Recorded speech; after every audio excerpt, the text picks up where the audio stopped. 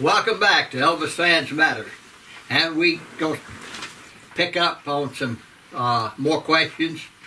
Uh, we had one, somebody asked about uh, Elvis meeting Nixon. Uh, all I can tell you is He met him. he, he met him, but he left that that morning, uh, not real early, I would say around 10, 11 o'clock from Graceland, and he flew to Washington by himself. That was extremely rare for Elvis. He just hardly ever uh, did things like that. But uh, he got to Washington, and uh, I know that uh, he got a hotel room, and I think he called Sonny and Jerry. And they come up there and, and met with him. And anyway, he went to the uh, to the White House, and uh, of course the guard knew who he was. But he said, "I'm Elvis Presley, and if it's not too much trouble, I'd like to meet the president. I'd like to talk to him about some things." And so uh, he got in, and uh, then Sonny and Jerry they showed up, and he let them in, and uh, they went into you know to meet Nixon and talk to him and all. And now this is from uh, Sonny's side of the story, you know. Uh, but anyway, they went in to meet Nixon and uh, met him, and I think Nixon and Elvis and one the FBI agents stayed in one one room and they talked about some things. Now what? I don't think anybody knows except you know those three people. That's Elvis, Nixon, and whoever that was. But uh, uh, anyway, uh, Elvis uh, later he got a FBI badge, you know, uh, from Nixon and all. You know, it made him a member of the FBI. Was he? He used to say that was his undercover badge, Yeah. undercover agent. Uh, but I, I do know once, uh, you know, not not too long after that, just a, just a short time, we went back, and uh, a lot of us went then, and we went to uh, went to the uh, FBI building and all, and uh, uh, they train and and all this, and they were, you know, a lot of them out there, and they were training, and and uh, uh, I don't think. Uh, I don't think Hoover was there at the time. But anyway, we got to go through the FBI thing, and whew, quite fascinating to see, you know, that that took us, you know, kind of like a little tour, and they were showing us, you know, how they trace things, you know, from just maybe, God, so much as an envelope or even a postage stamp, you know, eh, and the techniques they used and God, it was fascinating. Boy, it really was. And then we got to go in and, and, and see some of the guys outside training and see them, you know, actually training how they, what the stuff they got to go through and the split second decisions those men had to make, you know, uh, going through that. Was, it was, what was fascinating to us anyway.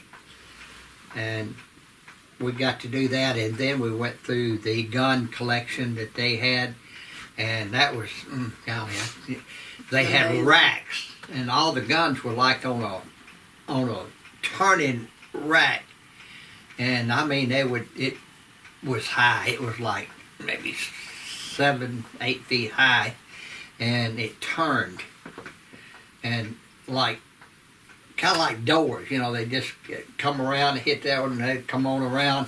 And guns, you wouldn't believe. They had uh, machine gun that Babyface Nelson used, and I would have Uh, liked to have seen that. and oh, it was fascinating. Dillinger's gun, you know, just I'm just trying to off the top of my head think of some of the ones that, that but uh, golly, man, that was fascinating. It really was. Were they guns that they trained with, or were they no, like these they were guns they had registered to age? confiscated. Oh, confiscated. Yeah, Yeah, from, from the actual, probably from yeah, some of the yeah. mafia Okay, and like- um, mafia, yeah, all kind of. Gotcha. Okay. and gangsters back in the And- day. and- Gotcha. So they just whatever, and they had they it had lo- on lockdown there. And it was uh, it was quite fascinating. It really was. I bet it was. do, uh, do they have anything from Al Capone? Yeah, they had. Uh, I don't know about particularly from him, but they had some of his members' guns. Now, uh, the thing I understood is Al Capone never carried a gun. Uh, He, had was- somebody else. Yeah, right. That's right. You're right, exactly right. He never. He had his, you know, his men to do whatever he needed them to do, and uh, you know, of course, everybody knows the old story about the uh, Valentine Day massacre and all that. That was, you know, Hmm, and, it's, al- and it's almost Valentine's Val- Day. almost Yeah. Valentine's Day. Yeah. So uh, you know, uh, that was quite an adventure for us. And, uh, a few other, you know, things in Washington we, you know, got to see like, you know, the Capitol. And, no, just we didn't get actually get time to go into it, but we did go go see it now. And uh, that, that's basic God. I tell you about you know those two trips about him meeting Nixon and going to there. He had, he just had a um, big interest and love for law enforcement Law and enforcement, guns. I mean, I remember did, when we yeah. went um, uh, we went to Tupelo one time and toured the jail in Mm-hmm. Tupelo, and um, and in and Memphis too. We went we went to several places that he just he had an interest in all. I remember he bailed one guy out out Uh-huh. down there. Uh, Now you walk through that. Uh, you got a Uh-huh. cigarette? That'd be the first thing they'd probably ask you. You know, you got a cigarette? I think so. But uh, it it we had a lot of fascinating. We did a lot of uh, things that were yeah. unusual like that. We and of all the places, my God, we have been so many places. Elvis has taken us so many places that we wouldn't have normally been able to see or do, and uh, just uh, you know all kinds of stuff. Just It was fascinating to Elvis, and I guess you know, how could it not be fascinating? Yeah. You know, to somebody else. It's, nothing else than being with Elvis, you know. But uh, gosh, it was a whole lot of you know. You couldn't help but have the the same interest that he Yeah. had because it. It was Well, fascinating. liked- I don't care if you was with Elvis or if you'd have been, you know, by yourself. It would Yeah. have been something to see, you know. Did he give the reason that he wanted to visit the jails or anything, or did he just? No, He just wanted to go through him, and yeah. no, it's see. like uh, it's like um, years ago. People would say, "Oh, that's so weird," but uh, he visited the funeral home, Mm-hmm. and um, you weren't you were with him when he went there? I didn't go to the funeral home. That's another story. That's another story. But I mean, he just things would he liked things out of the ordinary that he was interested in, and he just um, you know, and and he loved when he could talk about it, and somebody else would show interest in it. I know that's a lot of the things we did up in his room. Um, we'd stay up there for hours and hours and just get in the middle of his bed in a, in a circle, and he would maybe have a book or something he wanted to talk, you know, something in the book, or just just things that came to mind that he thought was unusual and and interesting, and we'd spend hours just just sitting there talking. Uh, right up, just up in the middle of the bed, and just you know, comfortable, shoes off, whatever. kick just back, you know. kick back, and just you know. No, we did, and it just goes along with it. Have a question. Um, somebody asked, did he ever visit any of like the children's hospitals that you know, like the the, the children that were in? I don't. I mean, I don't know if it was really St. Jude or Le Bonheur back then.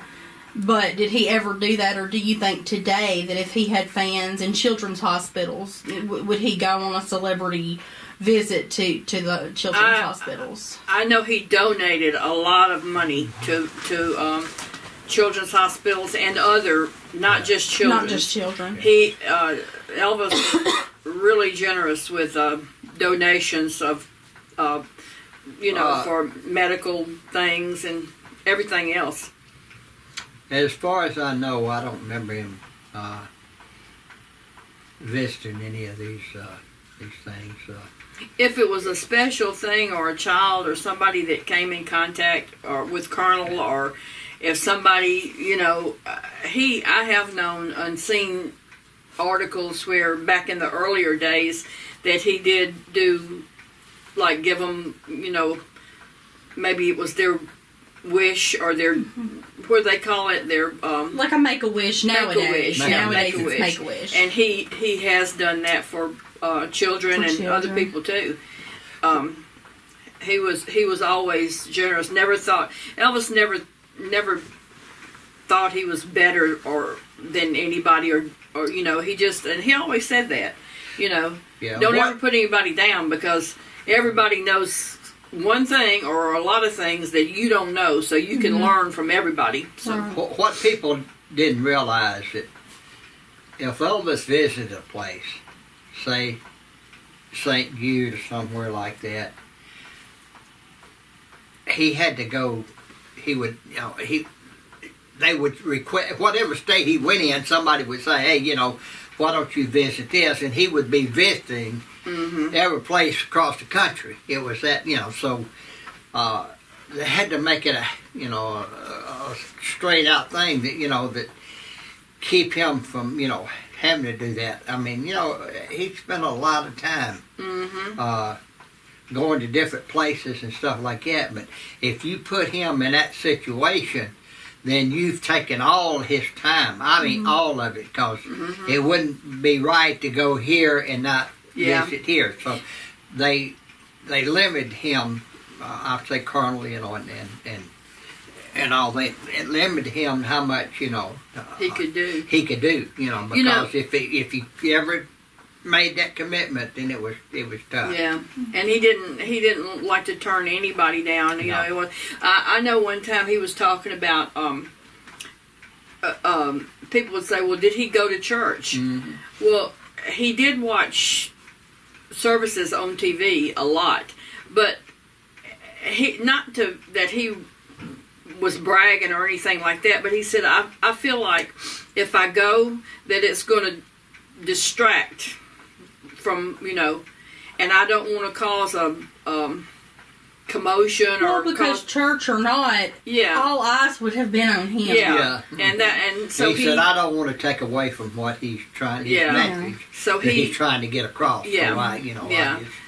I, I I think he would have liked to, church through TV and and stuff Yeah. like that. So but that But he was he was very religious. Oh, yes, yeah. he was. Yeah, he Um, was.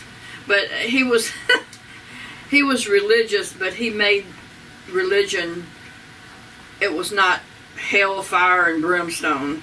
It was it was fun the way we did that a lot too. Yeah. And he would he would say, you know, God has got to have a great sense of humor. He he said, look at all these people with, you know, look at every one of us has got something that he can laugh about. So he made every one of us so you know so he can point at that one and say you know I did that I did that I did that, but he uh, he just made made it where he didn't believe that that religion should be um, like beat into your head and you know I mean it was a he he liked it lightly you know what I mean I mean what I'm I don't know He I'm didn't trying to- think that you should be brainwashed. no, that he didn't. sh- he, yeah. you know, he read the Bible and he knew the Bible, but um, he didn't. He didn't like the raised voices and the and the, you know how. where it was scared into. yeah, where it scared you. He didn't. He would, it, you know, he would say what he thought and how, what are you thinking about? I bet I know. what? See if you guess. Uh, Yea, he had a yeah, yep. Yea, though he had a plaque. I knew. Somebody gave him. I don't know. Anyway, I think JD gave it Uh, to him. uh, words on it, and it says, "Yea, though I walk through the valley of the shadow of death, I will fear no evil, Cause I'm the evilest son of a bitch in the valley. and it was at, and he was right in front of his, at the end of his bed. But he was just like but that. that's the way he was. yeah, he. like we said all the time, he could find humor in, everything. In everything, you know. And he could be really deep into something, and uh, I, will never forget. I thought it was so funny. He was. Linda had gone to the bathroom, and we were in the middle of the bed and sitting up on. He was, you know, we sit usually Linda, Billy, me, Elvis. We all sit in a circle, and uh, a lot of times hold hands and talk and everything. And he he was telling us something that was really something real, real deep. And she had gone in to change clothes, and she came back, and she, of course. Linda is, is beautiful anyway, but she had on this beautiful peach colored negligee and gown and everything. And he was talking, and he said, and up on the summit of the, and he went, and she walked by. and then he went, oh, well, back to. so I mean, he was he was human, but that's the way he did. You know, he. Uh, and and and maybe with that we better close it. yeah, that, we'll, we'll, we'll, stop that story. And remember, you know, uh, once again, to tell all your friends and, and, and neighbors and, and, and whoever. Can I say, you, uh, uh, don't inter- interrupt me again. I just don't want to forget. I agree.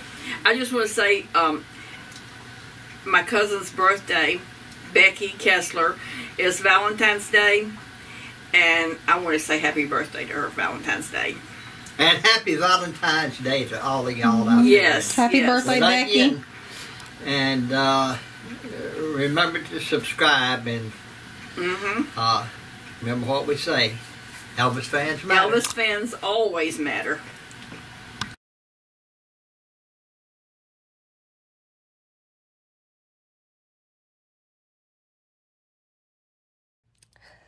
Make sure to like, comment, subscribe, and share. Thanks for watching.